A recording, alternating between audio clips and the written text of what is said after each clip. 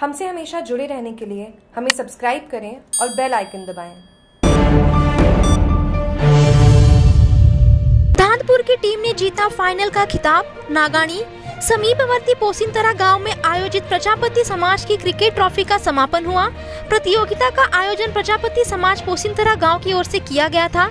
समाज के मुकेश कुमार प्रजापति ने बताया कि प्रतियोगिता में फाइनल मैच माँ अबुर्दा 11 पोसिंतरा बनाम बजरंग क्रिकेट क्लब धानपुर के बीच मैच खेला गया, जहाँ धानपुर ने पहले बल्लेबाजी करते हुए आठ ओवर में इक्यानवे रन का लक्ष्य पोसिंतरा को दिया। वही जवाब में उत्तरी पोसिंतरा की टीम ने आठ ओवर में पाँच विकेट खोकर अठहत्तर रन बना पाई, जिस पर बजरंग क्रिकेट क्लब धांधपुर तेरह रनों से फाइनल विजेता रही।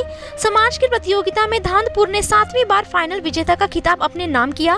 प्रतियोगिता के फाइनल मैच में man of the match Raju Dhandhpur रहे। वही man of the series Ashok Sirodi, सर्वश्रेष्ठ गेंद मोहन सेलवाड़ा व सर्वश्रेष्ठ बल्लेबाज पिंटू पोसिंतरा रहे। जागरूक टीवी के नागानी से महेंद्र सिंह परमार की रिपोर्ट।